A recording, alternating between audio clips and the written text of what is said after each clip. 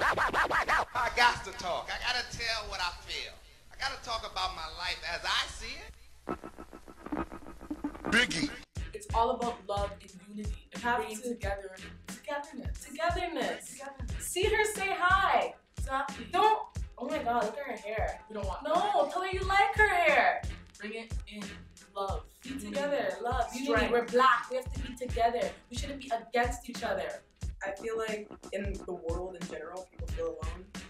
And if you feel like you're the only person who's going through something, it's good to find someone who's like you and who has experienced what you have. if I'm with my friends, all of a sudden we're. If I'm being energetic, if I'm happy, we're being rowdy, we're being uncivilized in, in a public area, and it doesn't make it better that black.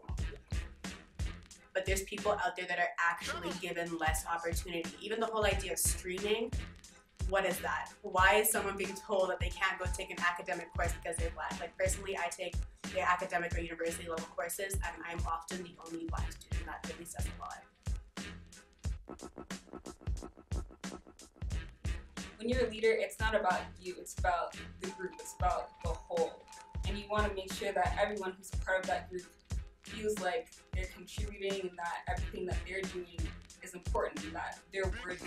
How are you to do it? Honestly, I just personally for me, and this is what I've noticed, I can't give anyone anything that I don't have for myself.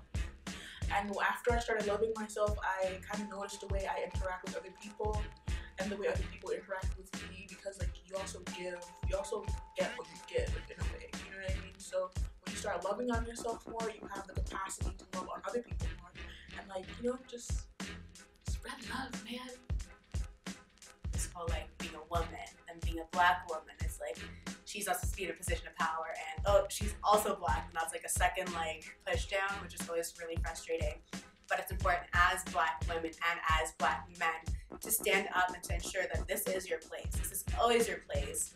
It's that people are going to try and make it seem like it's not your place, but it is. There is no name tag on the front of that office telling you, oh, listen, not for you.